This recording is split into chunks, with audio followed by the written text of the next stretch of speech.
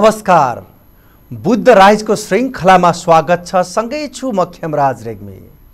आदरणीय महानुभावहरू आज अन्तर्राष्ट्रिय योग दिवस। योग गरौँ निरोग बनाऊ वास्तवमै भन्यो भने योग बिनाको जीवन निरस र निरर्थक छ। के योग केवल आसन मात्रै हो? के योगबाट असाध्यै रोगहरू पनि निको हुन सक्छ? योग साधना किन गर्ने? यसले जीवनलाई सही डोरेटोमा हिँडाल्नका लागि कसरी मद्दत गर्छ? आज हामी यो सन्दर्भलाई उठान गर्दैछौँ। अर्कोतर्फ महामारीले धेरै मानिसहरू रोगको चपेटामा पीडामा छन्। यसबाट मुक्ति पाउनको लागि योग ध्यान र साधना कसरी गर्ने? र सँगै मानसिक तनावमा रहेका नागरिकलाई समुन्नत जीवन बाँच्ने प्रेरणा योगबाट कसरी प्राप्त हुन्छ? यावत सन्दर्भमा आज हामी घनीभूत रूपमा छलफल गर्दैछौँ। र यो आजको कुराकानी यहाँहरूको जीवनमा पनि असाध्य लाभदायी हुनेछ। किनकि जीवनमा यस्ता महत्त्वपूर्ण कुराहरू सुनेर त्यसलाई व्यावहारिक रूपमा उतार्दाखेरि आफूले पनि छुट्टै खालको आनन्द र उत्साह र ऊर्जा प्राप्ति गर्न सक्छौँ। आज हामीसँग विशेष गरी द आर्ट अफ लिभिङ नेपालका वरिष्ठ प्रशिक्षक योगाचार्य जसको योग र साधनाले ध्यानले धेरै मानिसहरू लाभान्वित भएका छन्। देश विदेशमा उहाँले दिएको प्रशिक्षणबाट धेरै नागरिकहरू आफ्नो जीवन सही र सतमार्गमा लैजान सफल भएका छन्। आज हामीसँग हुनुहुन्छ विष्णु प्रसाद पाण्डे। आउनुहोस् यो कार्यक्रममा उहाँलाई म स्वागत गर्न चाहन्छु। यहाँलाई हार्दिक स्वागत छ। ओम श्री गुरवे नम। धन्यवाद। आराम हुन्छ गुरुदेव। आराम छ हजुर। अब जीवनै वास्तवमा योग र साधनामा यहाँले बिताउँदै हुनुहुन्छ मैले बुझ्दाखेरि। र आज संयोग पनि पर्यो अन्तर्राष्ट्रिय योग दिवस। अब योगलाई कसरी बुझ्ने योगलाई कसरी जान्ने योगकै कारणले जीवनलाई निरोग र सही ढङ्गबाट लैजान सकिन्छ सकिँदैन म त्यहीँबाट आजको कार्यक्रम आरम्भ गर्न चाहन्छु खास गरी। धन्यवाद। यति राम्रो योग दिवसको दिन यहाँले मेरा आफ्ना कुरा राख्नको लागि बुद्ध टेलिभिजन मार्फत जुन अवसर प्रदान गर्नुभयो।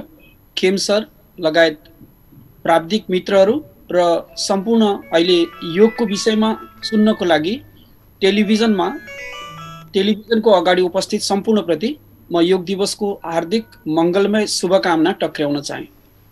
यहाँले मेरो परिचय गर्दा दिँदा जसरी योगमा जीवन समर्पित गर्नुभयो। साँच्चै मैले आफूलाई धन्यवादी पनि सम्झन्छु र केही ढिलो गरेको जस्तो पनि अनुभव गर्छु। तिस वर्ष पुगेपछि मात्रै यो योगको महत्त्वलाई बुझ्न पाएँ। गुरुको कृपा भयो। हामी यसरी पनि धन्यवाद धन्यवादी छौँ किनकि योग जुन छ विश्वमा सुरुवात गर्ने भगवान् शिव जसलाई योगी भनिन्छ यही हिमाल क्षेत्रबाट हुनुहुन्छ। अब अगाडिका विषयहरू योग जीवनको लागि कति हजुर। मैले खास विष्णुजीसँग के बुझ्न खोजेको गुरुदेव भने तपाईँ साधनामा लागेर पूर्ण रूपमा योगबाटै अरूको जीवन बदल्ने कर्ममा लागिराख्नु भएको छ मैले बुझ्दाखेरि। अब योगलाई आसनको रूपमा मात्रै बुझ्ने कि विभिन्न खालका आसनहरू गर्ने गरिन्छ खास योग शब्दको अर्थ के हो? कसरी बुझ्ने? र कसले यसको प्रारम्भ गर्यो? कहाँबाट यो आरम्भ भयो? त्यो बिन्दुलाई जोडिदिनुहोस्। यति गहिराइबाट सबैले बुझ्ने गरी प्रश्न गर्नुभयो र यसको उत्तरबाट पनि धेरैलाई लाभ मिलोस्। मैले अघि भने जस्तै योगका जन्मदाता त हाम्रै यही धरतीबाट विस्तार भएको विश्वमा एउटा कुरा यो भयो भने योग भनेको हजुरले सोधे चाहिँ मात्रै आसन होइन। योग भनेको जोड्ने हो। यसमा महर्षि पतञ्जली जसलाई योगको जन्मदाता मानिन्छ आजभन्दा हजार वर्षभन्दा बढी अगाडिबाट उहाँले आठवटा अङ्गको माध्यमबाट मानिसहरूलाई खुसी र सुखी हुने सूत्रहरू दिनुभयो। त योगमा आठवटा अङ्गहरू छन् जसलाई यम नियम आसन प्राणायाम प्रत्याहार ध्यान धारणा र समाधि भनिन्छ। र अहिले हजुरले सोधेको प्रश्न एउटा हिस्सा हो त्यो हो आसन जुन शरीरको लागि लाभदायक छ। आसन भनेको केही शारीरिक व्यायामहरू विधिपूर्वक गरिने। केमराज सर। अब यति धेरै गुरु छन् साँच्चै भन्यो भने हरेक गल्ली गल्ली चोक चोकमा योग गुरुहरू भेटिन्छन्। वास्तवमा कसरी कसलाई चिनेर गुरु चिनेर योग साधना गर्ने? यो कुरा बताइदिनुहोस् न खास गरी। यसको लागि त हामी धन्यवादी हुनुपर्छ। किराना पसल प्राय टोल टोलमा पाइन्छन्। अझै घर घरमै हुन थाल्यो भने योग पनि टोल टोलमा हुनु त हाम्रो लागि सौभाग्यको कुरा हो। यसलाई अन्यथा लिनुपर्छ जस्तो मलाई लाग्दैन। तर योग चाहिँ निरोग हुनको लागि एउटा औषधि जस्तै हो उपाय हो। त यो त राम्रो भयो नि।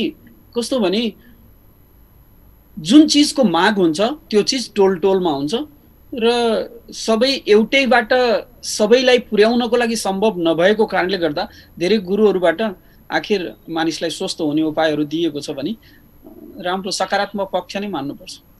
तर भिन्नता त हुन्छ होला नि त गुरुदेव खास गरी यो विषयमा। अब जस्तै सूर्य नमस्कार भनेपछि जुनसुकै गुरुले सिकाए पनि सूर्य नमस्कार त सूर्य नमस्कार नै हुन्छ। जुन दोकानमा पनि आलु त आलु नै हुन्छ। तर आलु जुम्लाको आलु हुन्छ तराईको आलु हुन्छ पहाडको आलु हुन्छ। यस्तै सिकाउने तरिकामा अलिकति फरक हुन्छ। बाँकी आसनका जुन नामहरू भनिन्छ तिनी त एउटै नै हुन्छन् तिनै नै हुन्छन्। अलिकति विज्ञ अब यसो गरौँ खास गरी अब तपाईँसँग हामी प्र्याक्टिकल्ली अभ्यासमूलक कुराकानी मात्र होइन।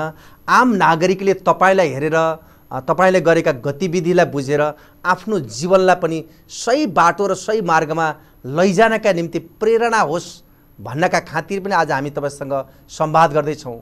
अब बिहानको सुरुवात हामी कसरी गर्ने? यो सुरुवातको चरणबाट हामी सुरुवात गरौँ खास गरी। मैले आफ्नो बारेमा भन्नुपर्दा तिस वर्ष अगाडिको मेरो जीवन कस्तो थियो भने सबै कुरा थियो। तर मैले अहिले मूल्याङ्कन गर्नुपर्दा रस बिनाको रसभरि थियो भनेर भन्न सक्छु। जब मेरो जीवनमा गुरु जोडिनु भयो र योग जोडियो अनि रसभरि बल्ल कम्प्लिट भयो रस भरिएर। त्यसैले अब हामी सबै हुन त हामीसँग धेरै बाहनाहरू पनि छन् र जिम्मेवारीहरू पनि छन्। बाहना के छ भने योग ध्यान गर्नको लागि समय छैन। आजको यस्तो समय जहाँ अर्को विकल्प नै छैन। अहिले त हामी थुनिएर बसेको अवस्था पनि छ। बाहिर निक्लन चाहेर पनि निक्लन नमिल्ने खालको कन्डिसन छ। यस्तो बेलामा कमसे कम अहिले त तपाईँसँग समय छ। बिहान उठेपछि स्नानहरू नित्य कर्महरू गरेपछि केही बेर अहिले त विभिन्न किसिमका मिडियाहरूको माध्यमबाट पनि हामी योग गुरुहरूलाई देखेर योग अभ्यासहरू गर्न सक्छौँ। युट्युबबाट लिएर सिक्न सक्छौँ। फेसबुक लाइभहरू बाट पनि हामी सिक्न सक्छौँ। यस्तै यहाँहरूको जस्तै बुद्ध टेलिभिजनबाट पनि यी कुराहरूलाई कति महत्त्वका साथ प्रसारण गरिएको छ यिनी कुराहरूबाट पनि हामी सिक्न सक्छौँ। त यहाँले प्र्याक्टिकली के गर्ने भन्ने विषयमा जब सोध्नुभयो बिहान उठेर आफ्नो नित्य कर्म गरिसकेपछि केही बेल फिजिकल एक्सर्साइज किनकि बाहिर जान छैन। त एकछिन जगिङहरू गर्ने वार्मअप गर्ने शरीरलाई तताउने अनि त्यसपछि यदि जान्नुभएको छ भने केही आसनहरू जस्तै सूर्य नमस्कार बेस्ट विशेष गरी युथ र स्टुडेन्टहरूको लागि त अझै बढी। भनिन्छ चौरासी हजार आसनको सार मात्रै एउटा सूर्य नमस्कार।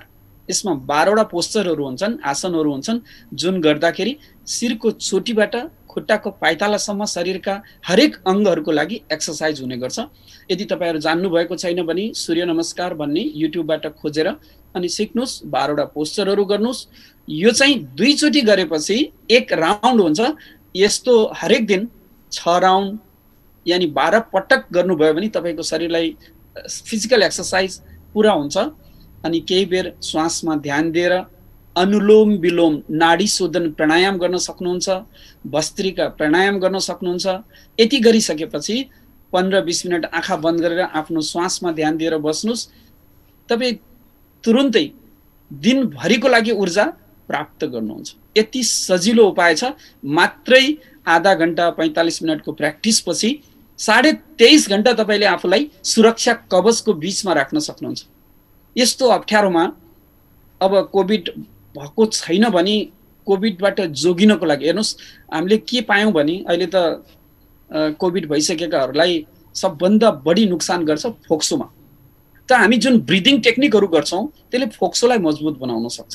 त त्यसले के हुन्छ भने कोभिडबाट जोगिनको लागि तपाईँको इम्युनिटी पावर बढाउँछ रोगसँग लड्न सक्ने प्रतिरोधात्मक क्षमतालाई बढाउँछ। एउटा त जोगिन सक्नुहुन्छ अर्को तपाईँ सङ्क्रमित भइसक्नुभयो भने त्यो रोगसँग निक्लनको लागि सजिलो हुन्छ।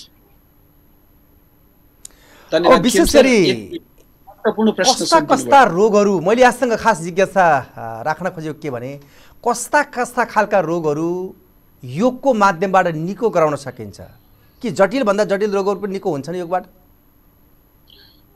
अलिकति के हुन्छ भने जटिल रोग भइसकेपछि जस्तो एलोपथी प्याथी जस्तो तुरुन्तै कतिपय अवस्थामा त तपाईँले सोधेको प्रश्न कस्तो महत्त्वपूर्ण छ? कतिपय अवस्थामा त केही आसनहरू योगहरू जटिल अवस्थामा गर्न मुस्किल हुन्छ।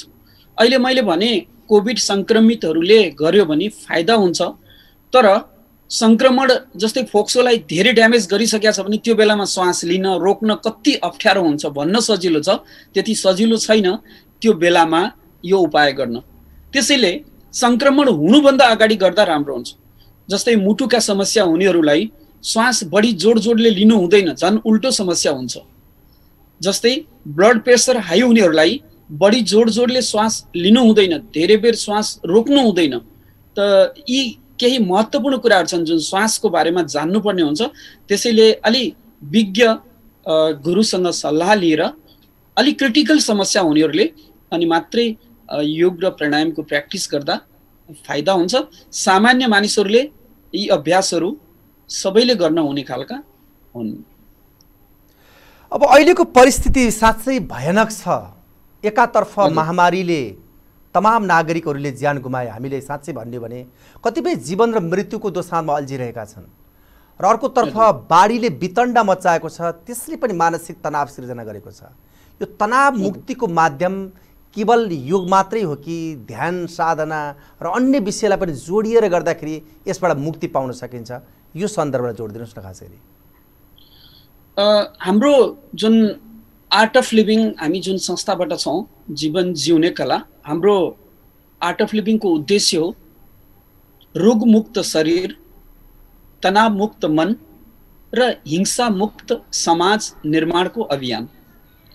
अहिले यहाँले भने जस्तै एउटा त कोभिडको त्रास सधैँ छ अर्को हाम्रो नेपालको भू बनावट र हामीले गरेका माटोसँगका ज्यादती प्रकृतिसँगका ज्यादतीले गर्दा अहिले विनाशकारी जुन समस्याहरू आइरहेका छन् भूस्खलनहरू जस्ता समस्याहरू बाढी जस्ता समस्याहरू आइरहेका छन् त्यसको लागि एउटा उपाय भनेको त सरकारले गर्नुपर्ने आफ्नो ठाउँमा छ तर हरेक कुराको लागि सरकारलाई मात्रै औँला उठाएर हुँदैन। हामी चाहन्छौँ हाम्रो गाउँ गाउँमा बाटो पुगोस् स्वाभाविक पनि हो सुविधा चाहिन्छ तर विज्ञहरूको सल्लाह लिएर मात्रै बाटो बनाउने अथवा कुनै पनि ठुला निर्माणहरूको लागि राम्रो सुझाव सल्लाह दीर्घकालीन सोच र यसबाट हुने परिणामको बारेमा सोचेर काम गऱ्यौँ भने त्यसको लागि हामीलाई पछुताउनु पर्दैन।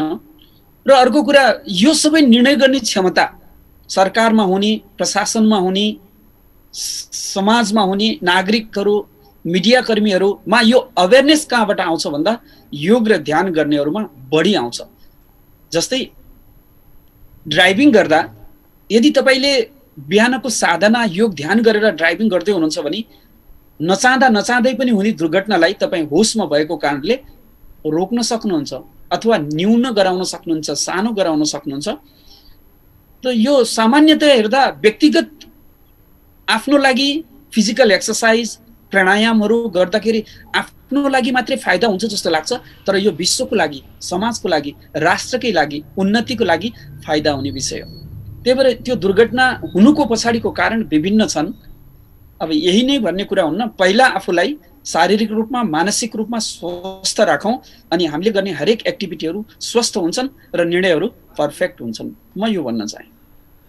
अब एउटै कुरा यहाँ वास्तवमा साधनाकै तलमा हुनुहुन्छ मैले खास बुझ्दाखेरि। अब हामीले वास्तवमा योगको विषयमा अलि बढी विज्ञापन गरे जस्तो देखिन्छ तर नागरिकहरू यो प्रति अलि बढी ध्यान दिएर चासो दिएर योगप्रति समर्पित भएको देखिँदैन खास गरी। किन रुचि लिँदैन मान्छेले खास? यो सन्दर्भ जोडिदिनुहोस् त। म यो कुराप्रति अलि सहमत पूर्ण रूपमा हुन चाहेन। कारण के भने आज चाहिँ सातौँ अन्तर्राष्ट्रिय योग दिवस सातौँ। र मैले आफू जोडिएको संस्था र विभिन्न ठाउँमा कार्यक्रम गराउन हिँडेको लगभग बिसभन्दा बिस वर्षभन्दा बढी समय भयो। मैले के देखेको छु भने हरेक वर्ष युवा र मानिसहरूमा योगप्रतिको रुचि बढेकै देखेछु देखेको छु। लक्षण देखिन्छ मानिसहरूको योगप्रतिको आकर्षण बढेकै छ घटेको जस्तो मलाई लाग्दैन। र यो रेसियोमा गयो भने सबै मानिसहरू र घर घरमा योग पुग्छ किनकि योग मात्रै यस्तो उपाय हो जसले मान्छेलाई निरोग बनाउँछ। भन्ने कुरा मानिसहरूले बुझ्न थालिसक्नु भएको छ। सजग हुन थालिसक्नु भएको छ।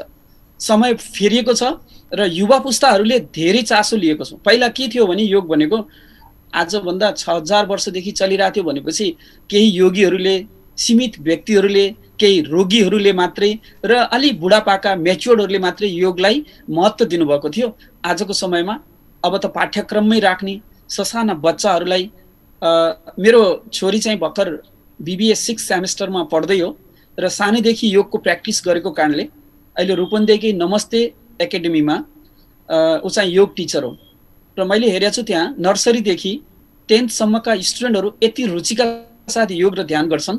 त्यसैले लक्षण देखिन्छ सङ्केत देखिन्छ कि योगप्रति सबैको सजगता छ र अभिभावकहरू पनि आफ्ना बच्चाहरूलाई योग र ध्यान गराउनमा रुचि राख्नु भएको छ।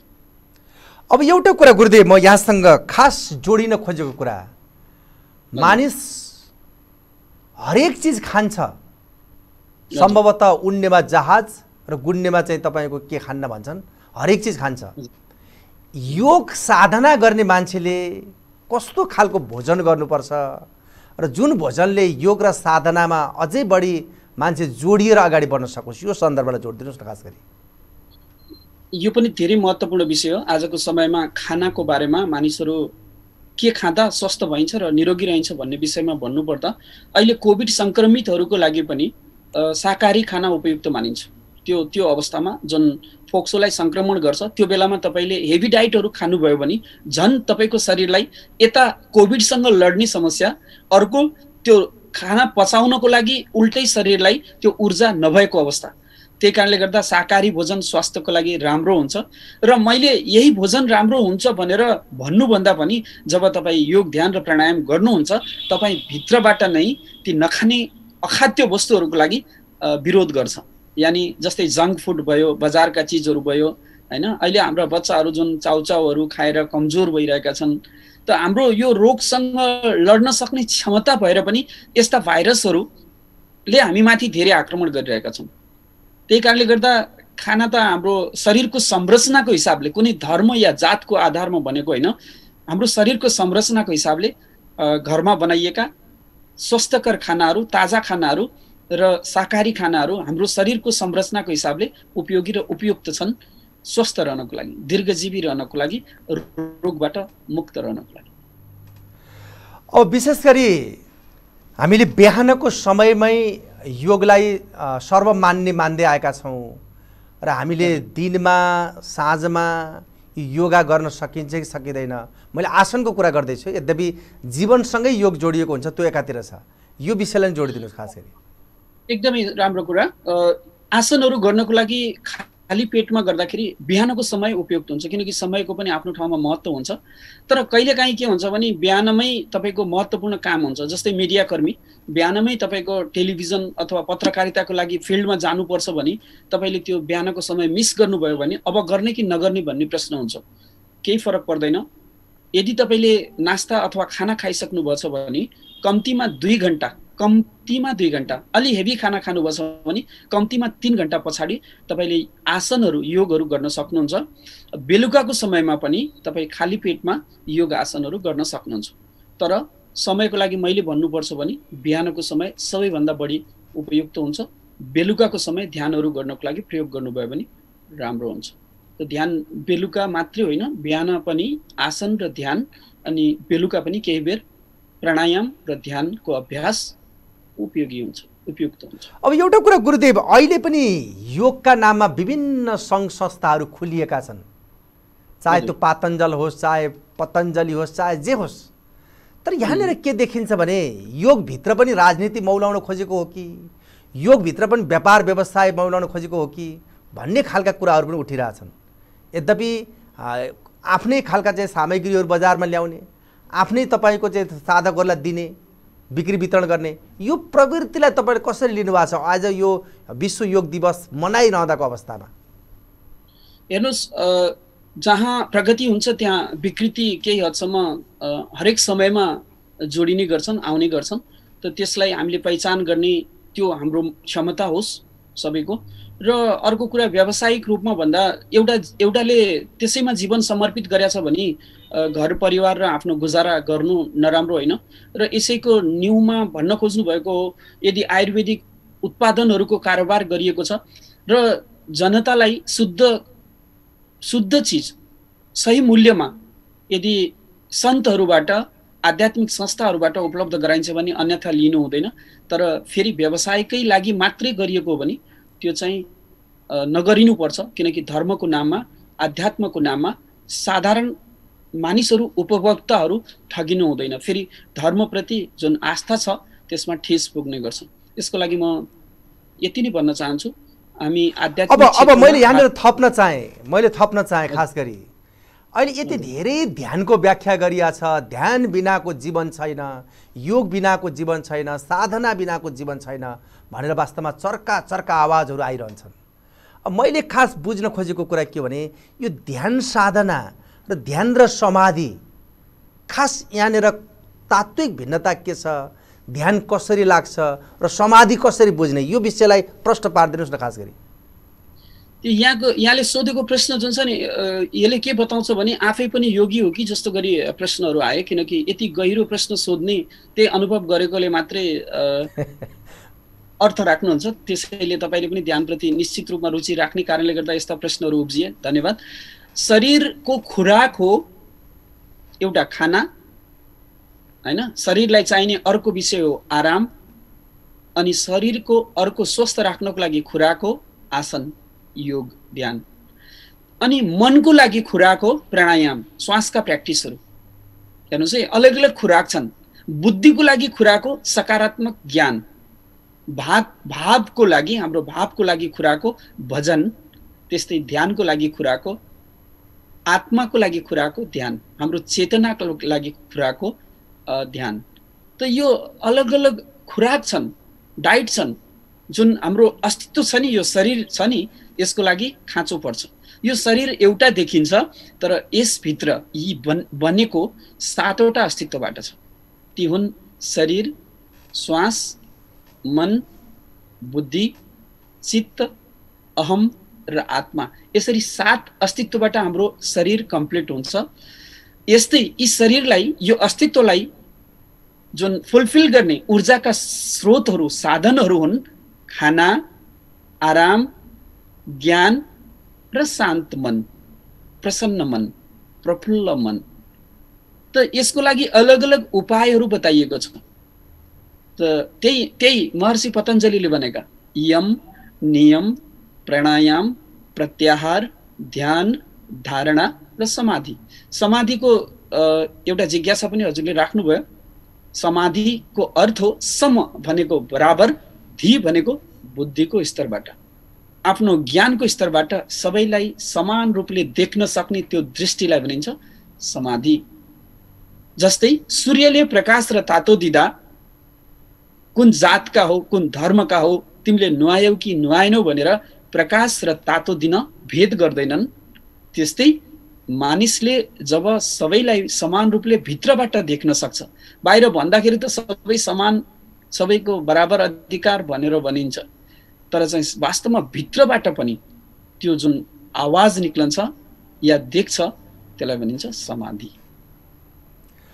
अब एउटा कुरा मानिसहरू धनको निम्ति सम्पत्तिको निम्ति पदको निम्ति दौडिरहेको भागिरहेको देखिन्छ। खास जीवनको लक्ष्य जीवनको उद्देश्य र जीवनको प्राप्ति के हुनुपर्छ गुरुदेव? तपाईँलाई के लाग्छ खास गरी?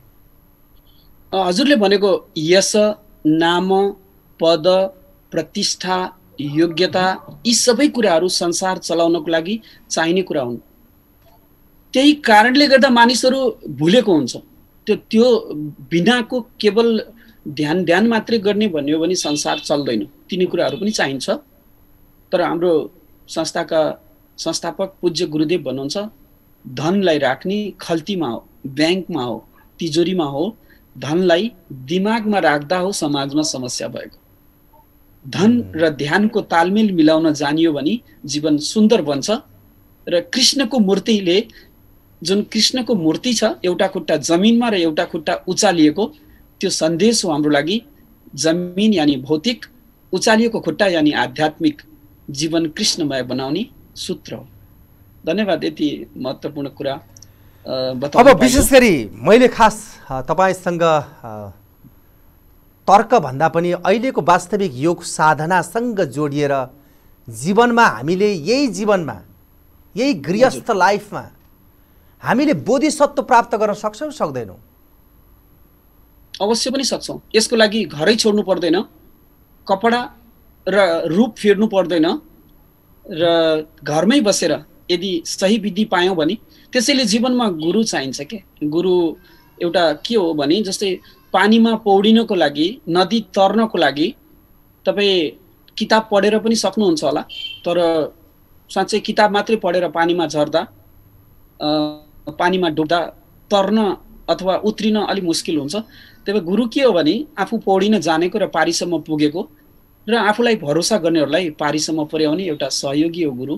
त्यसैले हाम्रो वैदिक संस्कृतिमा गुरुर ब्रह्मा गुरुर विष्णु गुरुदेव महेश्वर गुरुर साक्षात् परब्रह्म तस्मै श्री गुरवे गुरुको स्थान माथि राखिएको छ। त यहाँहरू जसले सुन्दै हुनुहुन्छ सम्पूर्ण दर्शकहरू श्रोताहरूलाई म अनुरोध गर्छु एकपटक गुरुको सान्निध्यमा गएर तपाईँले योग ध्यानका प्राणायामका प्र्याक्टिसहरू सिक्नुहोस् र आफ्नो जीवनलाई सजिलो बनाउनुहोस्। अब गुरुकै कुरा तपाईँले गरिराख्दाखेरि मन्त्र सुनाउने गुरु या ढोगाउने गुरु या गुरु त हरेक प्रकृतिका गुरुहरू भेटिन्छन्। वास्तविक गुरु कसरी चिन्ने कसरी जान्ने जुन गुरुको सान्निध्यमा जोडिसकेपछि परम आत्मसँग जोडिदिने एउटा सेतुको भूमिका निर्वाह गर्न सकुन् गुरुले। यो बताइदिनुहोस् त खास गरी। आजको व्यावहारिक ज्ञानमा पनि त कमर्स पढ्ने कि आर्ट्स पढ्ने कि साइन्स पढ्ने कि अलग अलग फ्याकल्टी छन् नि। त्यस्तै गुरुहरू पनि तन्त्र मन्त्र योग अलग अलग विषयका गुरुहरू हुनुहुन्छ। त तपाईँले मन्त्रको लागि जस्तै त्यो मन्त्र पाएपछि जाप गर्ने विषय भयो। के गरेको त यो? यो पनि साइन्टिफिक हो यो पनि ध्यान गर्नको लागि। जब तपाईँले एउटा कुनै शब्दलाई अथवा एउटा गुरुबाट पाएको मन्त्रलाई लिएर तपाईँ एउटा काउन्ट गर्नुहुन्छ तपाईँको ध्यान त्यहाँ केन्द्रित हुन्छ के? त्यो ध्यान नै हो। एउटा निश्चित विषयमा मान्छेलाई किनभने त्यो बेलामा तपाईँले यता माला जप्नुपर्ने यता मन्त्र जप्नुपर्ने त तपाईँले तनाव लिन मौका पाउनुहुन्न अरू कुराहरू सोच्न मौका पाउनुहुन्न। कमसेकम त्यो समय पन्ध्र बिस मिनटको समय तपाईँको ध्यान निश्चित ठाउँमा केन्द्रित हुनुभयो। त्यो पनि पवित्र शब्दको उच्चारणले। खेमरा सर म एउटा मन्त्रको बारेमा भन्नुपर्दा हजुरलाई एउटा प्रश्न पनि सोध्न चाहेँ। अहिले मैले तपाईँलाई एउटा नराम्रो शब्द भन्यो भने तपाईँलाई दुःख लाग्छ रिस उठ्छ। सहमत हुनुहुन्छ? सहमत हुनुहुन्छ? नहुने कुरै भएन। हो। एउटा नराम्रो शब्दले तपाईँलाई दुखी बनाउन सक्छ भने एउटा राम्रो शब्दले मान्छेलाई खुसी र पवित्र बनाउन किन सक्दैन? यो विज्ञान हो। यो विज्ञान हो। अब विशेष हामी सन्दर्भ योगसँगै जोडिएर आज अन्तर्राष्ट्रिय योग दिवसको विषय पनि छ। यद्यपि हामी वैदिक सनातनी भित्र पर्छौँ पूर्वेली सभ्यताले जुन कुरा सिकाएको छ र पश्चिमा सभ्यता आफ्नो ठाउँमा छँदैछ तर यहाँनिर एउटा कुरा उठ्छ क्या गुरुदेव। आज हाम्रो एउटा वेदले जे कुरा लेखेको छ हामी केवल वेदलाई पूजा गर्न मात्र सिकायौँ तर पश्चिमा अरू वेदलाई पढेर विकास र उन्नतिमा छलाङ मारे भन्ने खालको कुरा उठ्छ। किन हामीले वेदलाई व्यावहारिक रूपमा उतार्न सकेनौँ किन आफ्नो जीवनमा उतार्न सकेनौँ र सँगै आफ्नो समाज आफ्नो क्षेत्रलाई छलाङ मार्ने कार्यमा हामी किन लाग्न सकेनौँ? के लाग्छ तपाईँलाई? आजको युवा पुस्ताले के बुझ्न जरुरी छ भने वेद भनेको जस्तै एउटा विज्ञलाई विद भनिन्छ विद। यस विषयको विद हुनुहुन्छ उहाँ भनेर। त वेद भनेको आफैमा ज्ञानको भण्डार हो। हामीले यसलाई धर्म मात्रै जोडेर हेर्नु हुँदैन के? हामीले त हिन्दूहरूको धर्म ग्रन्थ मात्रै मानेछौँ त यो वेद भनेको ज्ञान हो। त्यही ज्ञानलाई गहिरोसँग बुझेर तपाईँले भने जस्तै पश्चिमीहरूले धेरै विकास गरे। हामीले केवल पूजा मात्रै गरेर थन्क्याएर राख्ने काम मात्रै भयो। हामीले राम्रो गऱ्यौँ सम्मान गरेर सुरक्षित राख्यौँ। अब यसलाई बुझ्न जरुरी छ विज्ञान सम्मत तरिकाबाट यसको विषयलाई गहिराईलाई जान्न जरुरी छ र विस्तार गर्न जरुरी छ। हामीले आफूलाई अहोभागी माने हुन्छ हामी पूर्वीहरू विशेष गरी यो क्षेत्रका। व्यासजीको जन्म समेत यही धरतीमा भएको यस पवित्र भूमिका हामी बुद्धको जन्म भएका यस पवित्र भूमिका हामी शिव योगका जुन दाता हुन् जन्म जन्मदाता हुन् उनको जन्म भएको भूमिका हामी सीताका जन्म भएका यो पवित्र भूमिका हामी हामीसँग जिनमा त्यो क्वालिटी छ अलिकति खोजको जरुरी छ। अलिकति हामीभित्र जिज्ञासा र रुचिको जरुरी छ साँच्चै हामीभित्र त्यो गुण व्याप्त नै छ। अहिले योगलाई पनि अन्तर्राष्ट्रिय योग दिवस विश्वभरिका मान्छेहरूले यसलाई महत्त्व दिन थालेपछि मात्रै हामी बल्ल जाग्न थालेका छौँ लाग्न थालेका छौँ। हामी अलिकति ढिलो गर्छौँ। आज तपाईँले भने जस्तै वैदिक सनातन धर्म र संस्कृतिको कुरा पनि जब गर्नुभयो त आज अर्को महत्त्वपूर्ण दिन तुलसीको बीज लगाउने एकादशी। यारो सबैलाई यो पवित्र दिनको पनि शुभकामना भन्न चाहे दिन चाहे। हाम्रा परम्पराहरूमा हजारौँ वर्षदेखि अगाडिदेखि जब इस्पी सम्बत थिएन विक्रम सम्बत थिएन त्यतिखेरदेखि पनि यो तिथि प्रतिपदादेखि पूर्णिमासम्म अनि यस्तै अर्को पक्ष अमावस्यासम्म यसरी पन्ध्र पन्ध्र दिनको एउटा तिथि हुन्थ्यो र एकादशीको दिन स्वस्थ मान्छेले उपवास गर्दा जस्तै हाम्रा इन्जिनहरूलाई धेरै लोड परेपछि विश्राम चाहिन्छ त्यस्तै हाम्रा सिस्टमहरूलाई विश्राम गराउने दिनको रूपमा लिएको थियो। र वनस्पतिहरूमा विशेष गरी हाम्रो परम्परामा छ नि अन्तिम भयो भने मैरीमा निकाल्ने तुलसीको मठमा निकाल्ने भनेको किनकि ट्वेन्टी फोर आवर्स चौबिस घन्टा अक्सिजन दिने एउटा वनस्पति औषधीय गुणले भरिएको। त्यसैले त्यसलाई सम्मान गर्ने भगवान्कै रूपमा हेर्ने हाम्रो सुन्दर परम्परा। हजुर। अब हामीसँग समय पनि असाध्य कम छ। अन्त्यमा करिब करिब अन्त्यमा हामी छौँ वास्तवमा। आज विश्व योग दिवस। योग गरौँ निरोग बनाउँ हामी हरेक दिन हरेक घडी भनिरहेका हुन्छौँ। योग साधनाले जीवनलाई जीवनको काँचुली फेर्न सकिन्छ। हामी व्याख्या पनि गर्छौँ। पटक पटक यो स्वाभाविक कुरा पनि हो। तर हामी अनुसरण गर्छौँ कि गर्दैनौँ त्यो एकातिर छ।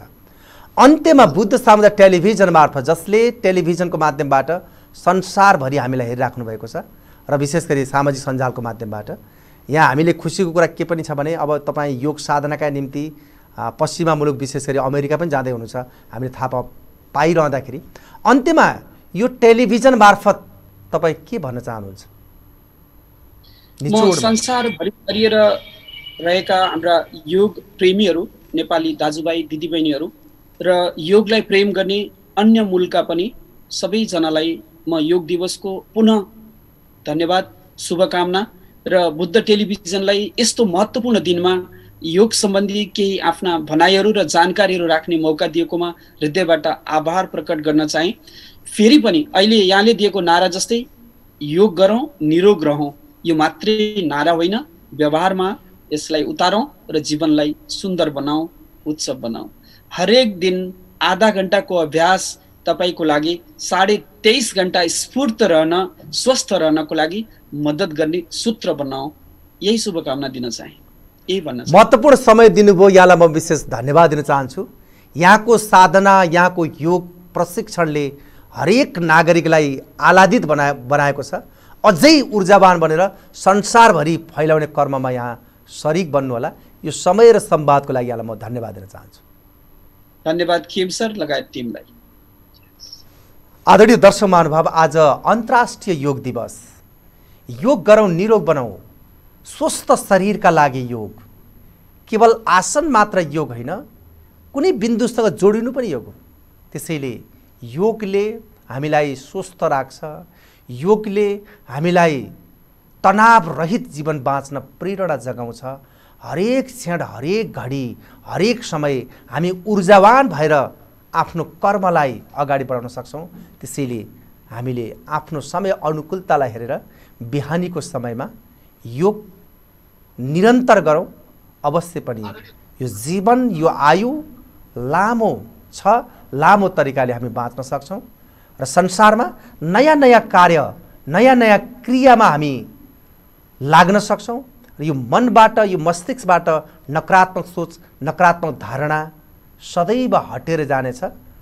उसले प्रगति गर्यो मैले पनि गर्नुपर्छ। भन्ने जबरजस्ती भावना आफूमा आउँदैन किनकि संसारलाई एउटै समान दृष्टिकोणबाट हेर्ने भाव पैदा हुन्छ।